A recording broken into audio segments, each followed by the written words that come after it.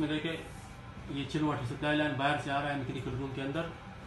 ये इसके वाल्स हैं और ये एक, ये स्ट्रेनर है। इसके अंदर देखो निकोला हुआ है ऑलरेडी ये स्ट्रेनर बार बार खोल के साफ़ करना पड़ता है, क्योंकि चिल वाटर में अगर कोई कचरा मचरा आएगा तो इसको पकड़ लेगा, ताकि कचरा कोयल के अंदर नहीं जाए।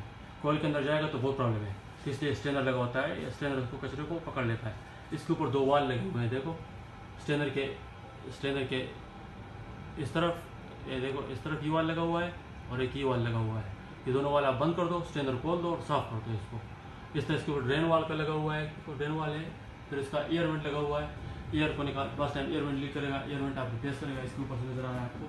छोटा सा एयर वेंट है, उसको कर सकते हैं आप उसको ये चिल वाटर सप्लाई लाइन हो गया, जिसमें चिल वाटर एचयू को सप्लाई हो रहा है। दूसरा है, चिल वाटर रिटर्न लाइन, जो एचयू से निकल के वापस जा रहा है चिलर प्लांट में। चिलर प्लांट में वहाँ से ठंडा, वहाँ से ठंडा आ रहा है और जा रहा है। यहाँ पर कोई कंप्रेसर नहीं है इस एच के अंदर, सिर्फ़ ब्लोअर है। ये हो गया इसका दूसरा रिटर्न लाइन जिसमें एक बाईपास लाइन है। ये उधर से देखो निकल रहा है, बाहर से दो लाइनें जा रही है एच में। एक सप्लाई हो रहा है, एक रिटर्न आ रहा है वापस। रिटर्न जो आ रहा है, इधर से आ रहा है। इसमें देखो पहले एक किस्म का ड्रेन लाइन दिया हुआ है, फिर बाद में बाईपास लाइन दिया हुआ है और उसमें एक एक्चुएटर वाल है, जो सबसे ज़रूरी चीज़ है।